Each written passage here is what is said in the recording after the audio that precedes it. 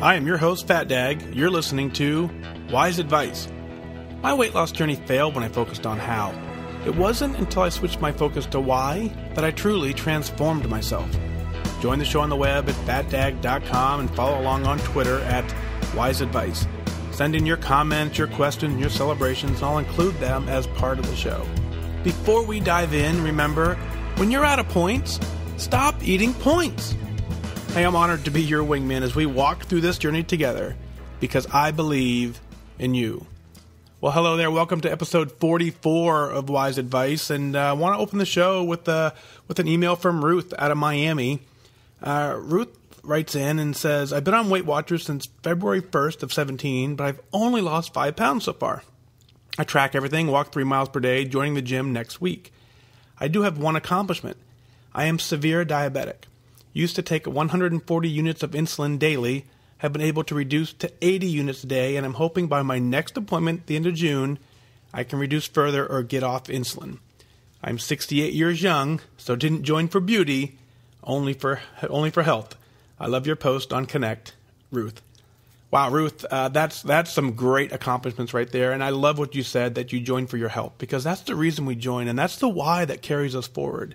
Uh, the fact that you, quote unquote, only have lost five pounds, when's the last time you did that on accident? When's the last time you had no desire to lose weight and you just all of a sudden woke up and boom? If you've lost five pounds, you've done it deliberately. More importantly, if you've changed your eating habits to be able to reduce your insulin, and that is incredible. That is the lifestyle change that is working. Uh, so don't don't ever discredit the fact that it's five pounds or only five pounds. Five pounds is hard work. Losing five pounds takes focus, takes dedication, takes discipline, and you've gotten it done. So, so great job on that. I'm super proud of you. I can't wait to hear when you're completely off insulin. I want to hear that email. I want to see it. So go ahead and shoot it to me when you get it. So, continued great success there. Ronni writes in, uh, says, I need some of your inspiration. I need help getting back on track. I was doing so well, measuring everything and counting points. I was almost 35 pounds down. Then my mom passed away, and it's been food city at my father's house that people have brought to comfort us. I lost my diet karma. I am so mad at myself. I can already feel my pants tighter. I have not been to a gym since I'm out of town now. I'm sure 10 pounds are back on already. My routine and structure are kaput. One sentence from you might get me back on track. I want my motivation back. Ronni. Well, um, I'm I'm so sorry for your loss. Uh, first of all, that is uh, that is devastating, and, and I understand that. So the first and most important thing is you've got to take the time to grieve. Uh, above all else, you have to take care of you. You have to take care of your family, and the grieving process has to take priority. Now, it doesn't mean we have to find the comfort in the food, even though that that is going to be the natural ability and that's going to be the natural tendency uh, in those scenarios because you're right. People, our society doesn't know how to cope properly. And so we, we just assume that because we all have to eat, the food shows up uh, to make everything else in your life easier, when in fact, in your scenario, it, it does make it harder. But what I want to tell you is, is just because it's there and just because you partake does not make you a failure. It does, you do not need to be mad at yourself in this journey. You need to accept the scenario that you're currently in do your very best under the current set of circumstances, and then when life gets back to your new normal, you refocus. You refine your discipline, you get remotivated, and you and you get back on it. But for a few days right now, you're you're just trying to figure out what normal looks like. You're trying to figure out what your best is, and your best today can't be compared to your best three, four weeks ago. It's not even the same scenario. The variables that surround you aren't even the same. So, so I don't want you to focus on not doing your best today. I don't, I don't want you to be mad at yourself. I just simply want you to say, you know what, this is a scenario I haven't encountered before. I'm doing the best in this scenario. Now, as that scenario now becomes your new normal, then we continue to improve. We continue to do our best a little bit more, and we move forward. So once again, um, uh, you know, 35 pounds down, you you know how the program works. You know you can do it. You know under under a normal set of circumstances, you have the ability to get it done. So this blip in the radar, you know, although being extremely devastating, I, I feel for you in that regard, it's temporary. And you have the ability to, to make it work. And you have the ability to move forward. And all it takes is just you focusing one more time and saying, I'm ready to do this. And so that's what it takes. I'm here for you. I'm here to walk this journey with you. We can get it done.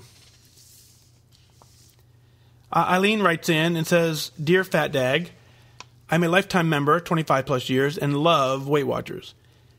By the way, my username relates to the year I was born, so I'm not 60 years old quite yet, but born in 1960.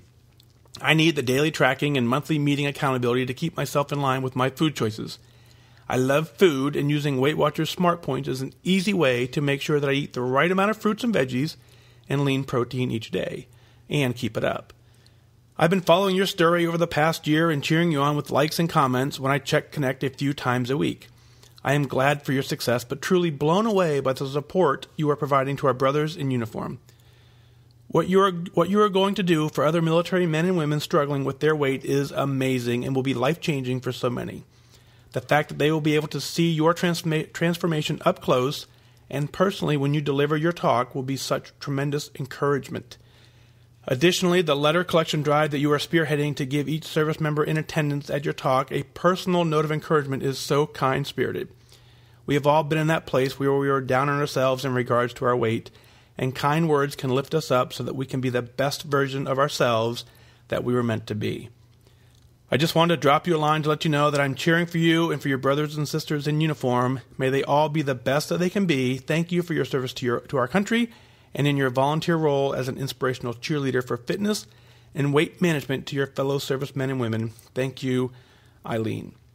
Well, Eileen, uh, thank you very much, and, and I'm truly honored to carry this message forward. And I've talked about it more than once. Uh, when I struggled, uh, I didn't necessarily have the support that I needed, uh, and I looked for it. I looked for it many times, and I asked many times for that support, but for some reason, never found what I needed through the military support network. So the fact that I'm able to now deliver this message to that community, uh, that is a a true calling for me in a sense where uh, I just wish that resource was available to me.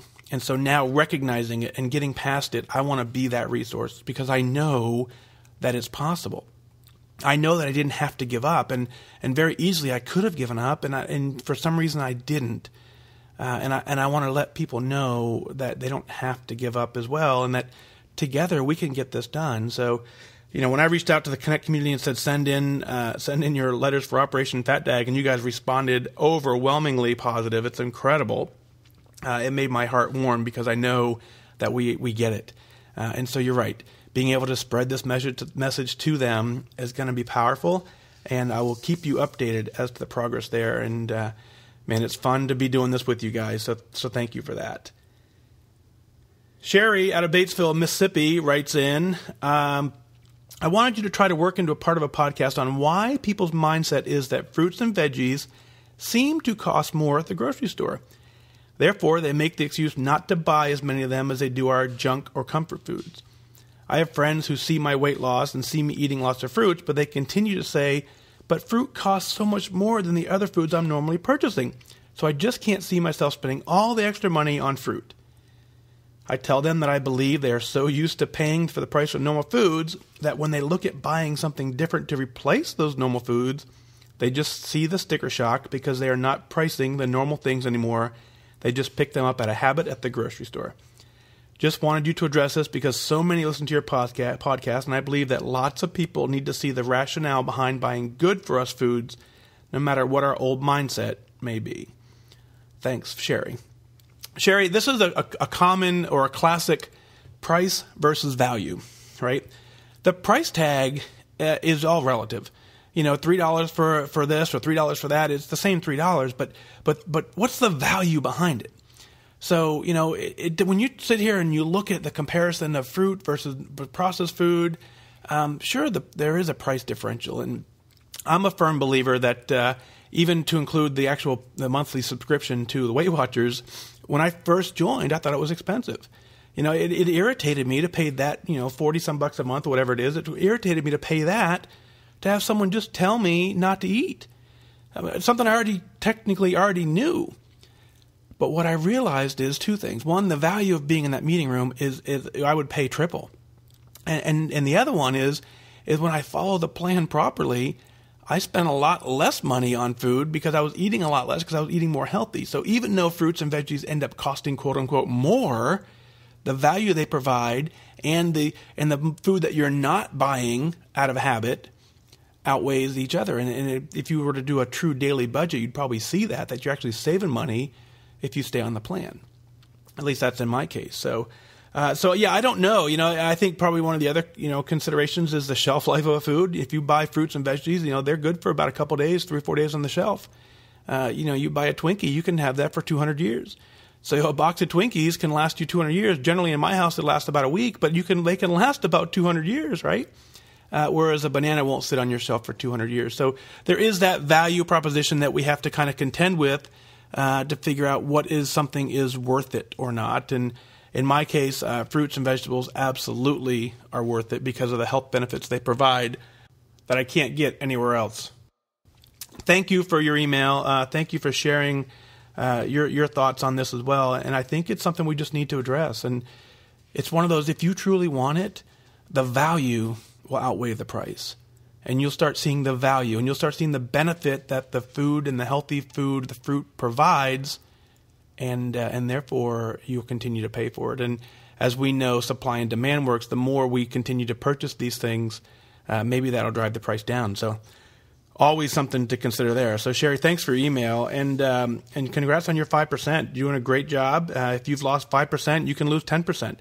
What you're doing is working. So keep up the great work. Uh, what are you celebrating? Let's let's get it on the air. What do you want to talk about? One of the things I want to do about this show is I want to make sure that we hit what you're talking about and uh, and what, where do you struggle and, and where do you succeed and and we share that amongst the community so that we all become become better together as we work the program together. So send in your email, go to fatdag.com, click on podcast, send in your questions, your celebrations. Again, I'll work them in part of the show. You can reach me on Twitter at Whys Advice, Instagram at Whys Advice. I'm out there just about everywhere. Uh, but that's going to do it for this time. Remember that losing weight, getting healthy has nothing to do with luck. You have to remain disciplined and focused. Set your sights on your goal and go after it. I wish you good focus.